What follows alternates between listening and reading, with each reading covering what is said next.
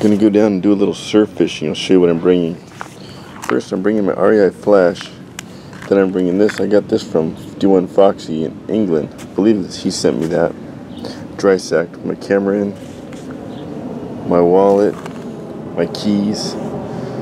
And uh, anything else that I want waterproof. Because I'm gonna be wading probably chest deep. Just with trunks on.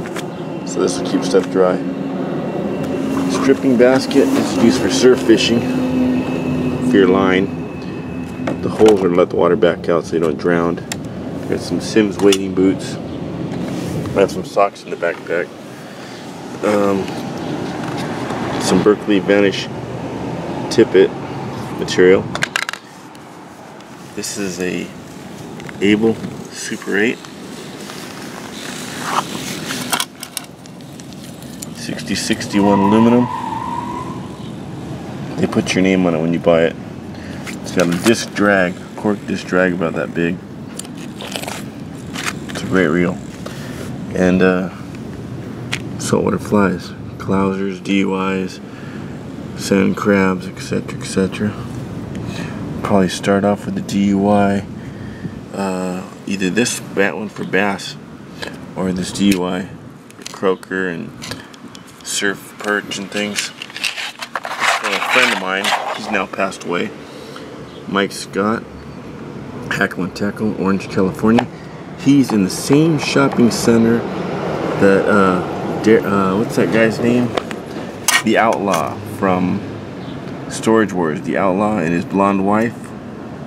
Uh, oh, they have that pawn store there. Something about time. Now and again, or something like that from Pawn Wars. Well, anyway. And my Sage RX PLA rod, 8 weight rod.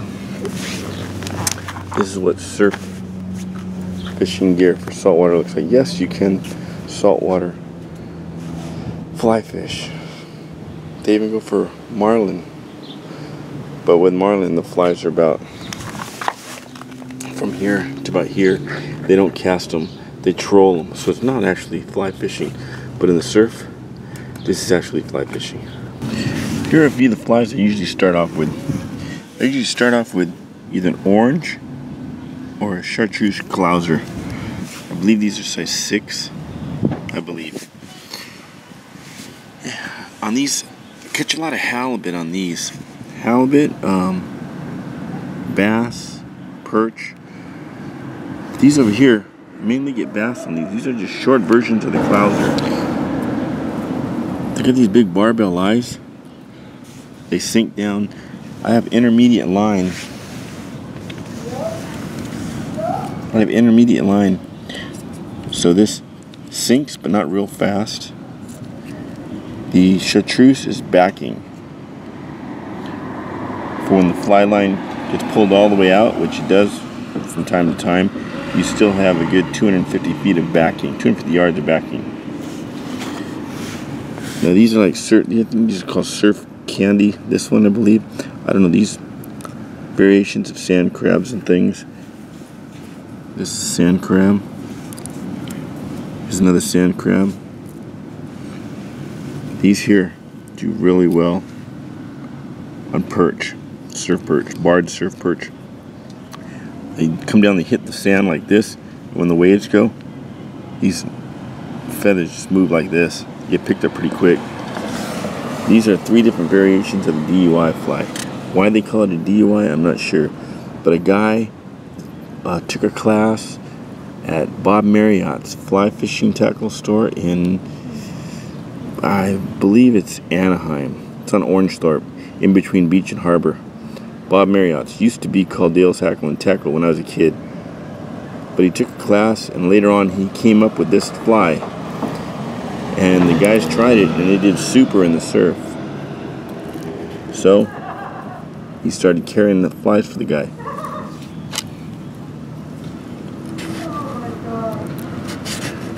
They started off with one type, something like this.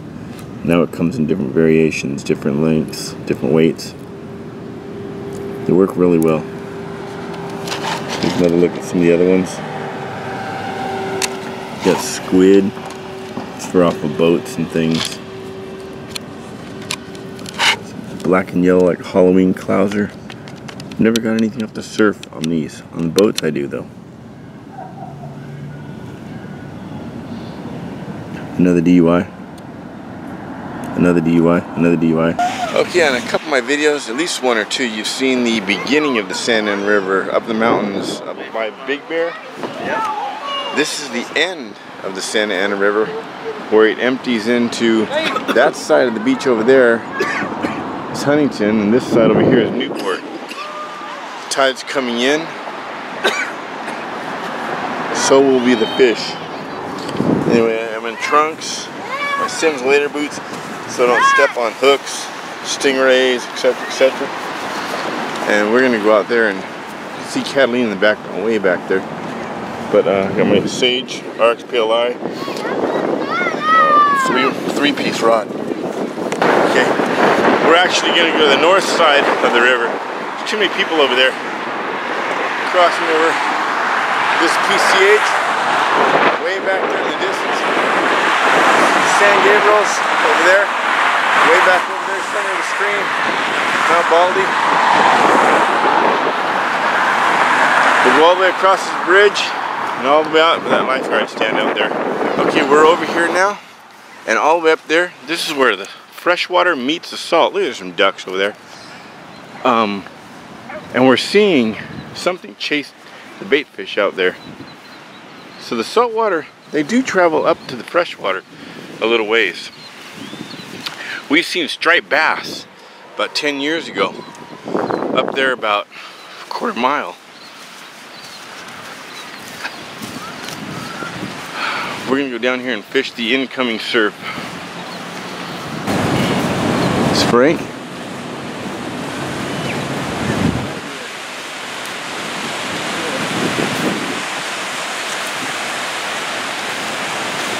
we're all set up ready to go.